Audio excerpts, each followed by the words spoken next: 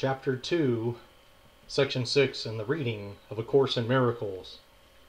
Section 6 Fear and Conflict. Being afraid seems to be involuntary, something beyond, beyond your own control. Yet I have said already that only constructive acts should be involuntary. My control can take over everything that does not matter, while my guidance can direct everything that does, if you so choose. Fear cannot be controlled by me, but it can be self-controlled. Fear prevents me from giving you my control. The presence of fear shows that you have raised your uh, have raised body uh, thoughts to the level of the mind. This removes them from any control and makes you feel personally responsible for them. This is an obvious confusion of levels. I do not foster level confusion, but you must choose to correct it. You would not excuse insane behavior on your part by saying you could not help it. Why would you condone insane thinking? There is a confusion here that you would do well to look at clearly. You may believe that you are responsible for what you do, but not for what you think. The truth is that you are responsible for what you think because it is only at this level that you can exercise choice. What do you um, what you do comes from what you think. You cannot separate yourself from the truth by giving autonomy to behavior. This is controlled by me automatically as soon as you place what you think under my guidance. Whenever you are afraid, it is a sure sign that you have allowed your mind to miscreate and have not allowed me to guide it. It is pointless to believe that controlling the outcome of misthought can result in healing. When you are fearful, you have chosen wrongly. That is why you feel responsible for it. You must change your mind, not your behavior, and this is a matter of willingness.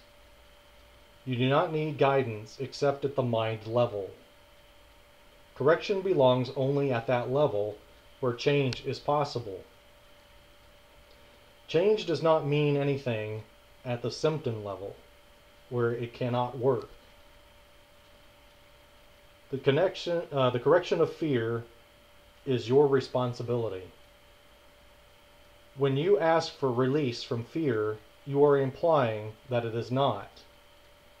You should ask instead for help in the conditions that have brought the fear about. These conditions always entail a willingness to be separate. At that level, you can help it. You are such, uh, you are much too intolerant, you are much too tolerant of a mind wandering and are passively condoning your mind's miscreations. The particular result does not matter, but the fundamental error does. The correction is always the same. Before you choose to do anything, ask me if your choice is in accord with mine. If you are sure that it is, there will be no fear. Fear is always a sign of strain, arising whenever what you want conflicts with what you do.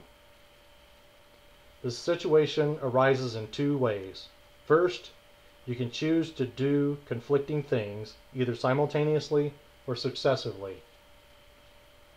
This produces conflict behavior, which is intolerable to you because the part of the mind that wants to do something else is outraged. Second, you can behave as you think you should, but without entirely wanting to do so. This produces consistent behavior, but entails great strain. In both cases, the mind and the behavior are out of accord, resulting in a situation in which you are doing what you do not wholly want to do. This arouses a sense of coercion that usually produces rage, and projection is likely to follow. Whenever there is fear, it is because you have made, not made up your mind. Your mind is therefore split, and your behavior inevitably becomes erratic.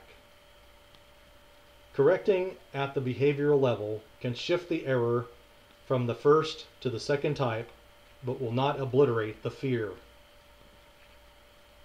It is possible to reach a state in which you bring your mind under my guidance without conscious effort, but this implies a willingness that you have not developed as yet. The Holy Spirit cannot ask more than you're willing to do. The strength to do comes from your undivided decision. This is no strain in doing God's will as soon as you recognize that it is also your own. The lesson here is quite simple, but particularly apt to be overlooked. I will therefore repeat it, urging you to listen. Only your mind can produce fear. It does so whenever it is conflicted in what it wants, producing inevitable strain because wanting and doing are discontent are discordant. This can be corrected only by accepting a unified goal. The first corrective step is undoing the error. In undoing the error is to know first that the conflict is an expression of fear. Say to yourself that you must somehow have chosen not to love, or the fear could not have arisen. Then the whole process of correction becomes nothing more than a series of pragmatic steps in the larger process of accepting the atonement as, a, as the remedy. These steps may be summarized in this way. Know first that this is fear. Fear arises from lack of love. The only remedy for lack of love is perfect love. Perfect love is the atonement. I have emphasized that the miracle or the expressions of atonement is always a sign of respect from the worthy to the worthy. The recognition of this worth is reestablished by the atonement. It is obvious then that when you are afraid, you have placed yourself in a position where you need atonement. You have done something loveless, having chosen without love. This is precisely the situation for which the atonement was offered. The need for the remedy inspired its establishment. As long as you recognize only the need for the remedy, you will remain fearful. However, as soon as you accept the remedy, you have abolished the fear. This is how true feeling healing occurs. This is how true healing occurs. Everyone experiences fear, yet it would take very little right thinking to realize why fear occurs. Few appreciate the real power of the mind, and no one remains fully aware of it all the time. However, if you hope to spare yourself from fear, there are some things you must realize and realize fully. The mind is very powerful and never loses its creative force. It never sleeps. Every instant it is creating. It is hard, uh, hard to recognize that thoughts and beliefs combine into a power surge that can literally move mountains. It appears at first glance that to believe such power about yourself is arrogant. But that is not the real reason you do uh, you do not believe it. You prefer to believe that your thoughts cannot exert real influence because you are actually afraid of them. This may allay awareness of the guilt but at the cost of perceiving the mind as impotent.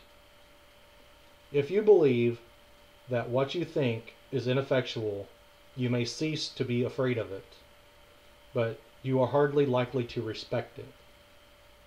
There are no idle thoughts.